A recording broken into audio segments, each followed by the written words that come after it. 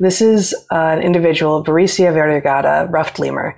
Uh, individuals of this species, I don't think it was this subspecies, but of this species lived on the island Nosy Mangabe, where uh, just off the coast of Madagascar, where I did my dissertation research. And there, this was in the late 90s, uh, I was told by a local man, a naturalist, that a particular plant, uh, whose identity I've long since forgotten, was eaten by Varecia variegata, was eaten by individual females of this species of lemur as an abortifacient. Now, I don't know if this is true.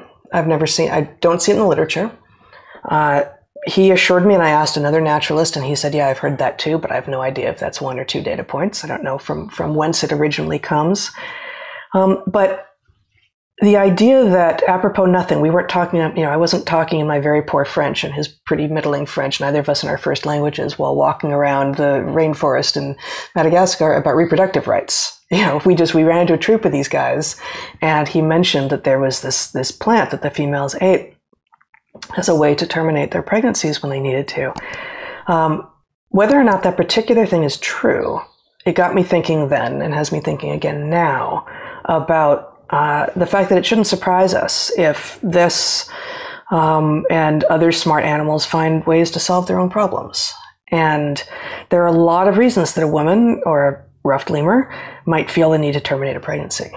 This issue has never simply been as simple as it's a life, which is what we are told, which is what you know what the, the sort of the tagline for the position of the extremist on the right is it's a life for some people, that is the issue beginning, middle, end. That's all you have to say. That's all there is to consider. But for most of us, it's it's not. There's just more to it. And the fact of there being um, two organisms involved a pregnant female, in this case of a lemur, or a, a, a, pregnant adult human female, in the case of uh, women, uh, doesn't you know, that and, and a fetus does not acknowledge, I mean, does not, is not responsive. The argument that it's a life is not responsive to actually what about the other life you're talking about here. And again, I don't know if actually other organisms are using plants as abortifacients. It wouldn't surprise me. I've been told it's true. I can't find evidence in the literature, but of course, the organisms aren't going out and putting stuff into the scientific literature, are they? Uh, so I, I guess I wanted to add this and a couple of other little pieces in here about how really complex and messy categories are, how simple some of them are. Things like female, very simple. Uh, but at the point of whether or not women should have a right to terminate a pregnancy, that if they carried it through to term, uh, would radically alter everything that they could do with their own lives and would likely mean a much poorer quality of life for that child. Uh, to respond to that with, it's a life, we can't have this conversation, has always felt like it is missing the point. Missing the point. And, you know, I think your allusion to the recent um, debate over defining what a woman is, for example, is exactly right.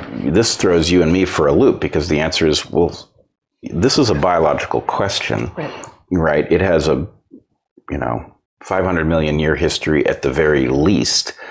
And so, you know, the necessary tools to even have the discussion are not limited to this moment in history in this particular species. They're embedded in a much bigger story that has a lot of logical rungs on the ladder. And this one is the same way, right?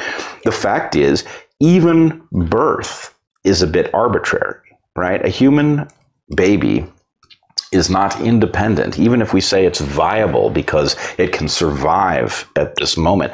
Survive means with the intense care of adults, right? And very few people right, a vanishingly tiny number, would be comfortable in a society that has as much abundance as we have, with people terminating their already born children because their economic circumstances have changed. So the point is, we already draw a line in which the point is we say, actually, you have to care for this individual beyond this point, or you have to, you know, at least make sure that they are cared for.